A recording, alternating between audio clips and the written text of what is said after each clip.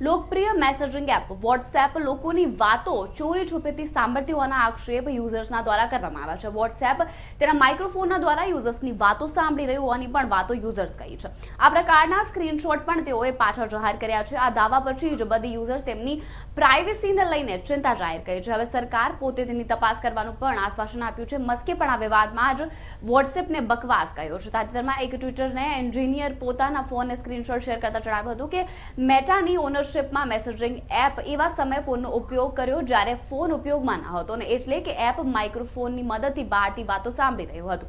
આ મામલે સામે આવતા જ ઇલેક્ટ્રોનિક્સ તેમજ ઇન્ફોર્મેશન મંત્રી રાજીવ ચંદ્રશેખર કાર્યવાહી અને તપાસની માંગ કરી છે. એલન મસ્કે પણ જણાવ્યું કે વોટ્સએપ બકવાસ છે. તેનું ટ્વિટર હવે કોલિંગની સાથે એન્ટીપ્રેડ વીડિયો કોલિંગ પણ સળગાવવું આપશે. કેન્દ્રીય મંત્રી આપણે જણાવ્યું, સરકાર વોટ્સએપ પર લાગેલા આરોપોને તપાસ કરશે અને સુનિશ્ચિત કરશે કે યુઝર્સને કોઈ રીતે નુકસાન ન પહોંચે. આ અંગે તેમણે નવા ડેટા પ્રોટેક્શન બિલ અંગે પણ જાણકારી આપી અને બિલ સુનિશ્ચિત કરશે કે ભારતીય નાગરિકોના ફક્ત એટલા જ ડેટોના ડેટાનો જ ઉપયોગ કરવામાં જેટલો ડેટા સેવાઓ પૂરી પાડવા માટે જરૂર છે. વોટ્સએપ જો ટ્વિટર એજન્સીઓ આરોપ જવાબ આપતા બગને જવાબદારી ઠેર્યું છે તેને તપાસ કરવા માટે અમે ગૂગલને કહ્યું છે. વાસ્તવમાં ગૂગલના છેલ્લા ચેન્ડ્રોઇક વેઝનમાં પણ એન્ડ્રોઈડ વર્ઝનમાં કેટલાક કેમેરા અને હંસનો ઉપયોગ કરતા તે પણ શંકા જણાવવામાં આવી રહી છે.